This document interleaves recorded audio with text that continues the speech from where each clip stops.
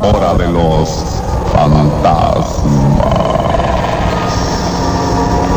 En esta noche, presentándoles historias verídicas, casos increíbles de terror.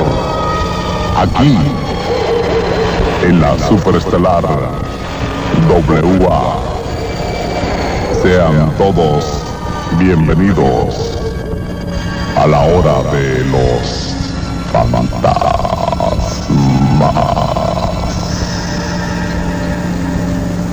Bueno, pues esta carta dice lo siguiente. Mire, le voy a comentar algo que me ha sucedido hace ya varios años.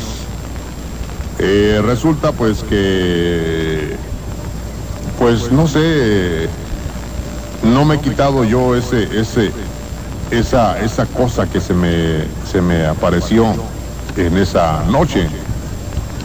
Mire, le quiero decir lo siguiente. Antes que nada, pues este, eh, yo estoy, estoy estudiando, ya, perdón, estudié y, acabé mi carrera. Estudiamos en México y nos fuimos a vivir a provincia porque pues somos estudiosos de la fauna y la flora silvestre que todavía hay acá en el estado de Chiapas. Se fueron hasta Chiapas estos muchachos a, a estudiar. Eh, mire, yo eh, y mi hermana vivíamos en una pequeñita población y nuestra casita quedaba pues un poquito lejos del pueblo más cercano.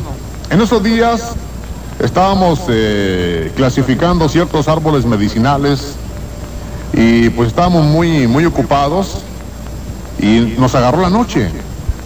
Al volver al pueblito, al volver al pueblito, teníamos que atravesar por un pequeño puente y abajo corría un río. Pues al pasar ese puente, escuchamos que un niño lloraba y me dijo mi hermana, vamos a ver qué fue. Pero yo en realidad no quise bajar, sentía como miedo. Y esperé a mi hermana arriba. Cuando ella apareció, la vi llegar con el bebé.